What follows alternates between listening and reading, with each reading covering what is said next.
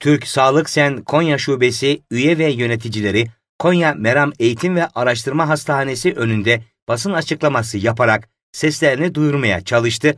Ayrıca iş bırakma eylemi yaptıklarını duyurdu. Türk Sağlık Sen Konya Şube Başkanı Metin Töke, sağlık çalışanlarına zam yapılmamasından dolayı geçtiğimiz hafta Cuma günü 1 saat ve bugün tam zamanlı iş bırakma eylemi yaptıklarını dile getirdi. Perşembe günü açıklama yapmış.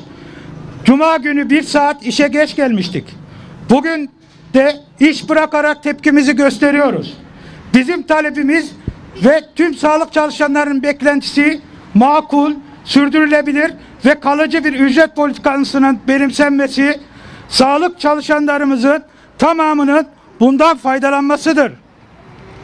Doktorlarımızın zammı, doktorlarımız zammı hak ediyorlar. Yapılsın. Bir itirazımız olmaz, olamaz. Bizim isteğimiz tüm sağlık çalışanlarının ücretlerinin arttırılmasıdır. Çünkü sağlık çalışanlarımızın tamamı ekonomik sıkıntı yaşamaktadır. Töke ayrıca sağlık çalışanlarının bir bütün olarak ele alınması gerektiğini söyledi. Sağlık çalışanları bir bütündür.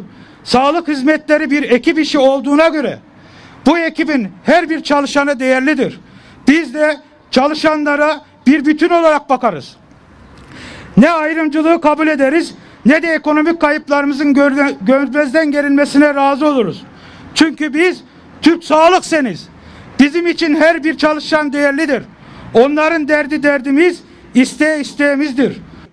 Töke, taleplerinin sağlık çalışanlarının ekonomik sıkıntılarının giderilmesi olduğunun altını çizdi. Talebimiz çalışanların ekonomik sıkıntılarının giderilmesi içindir.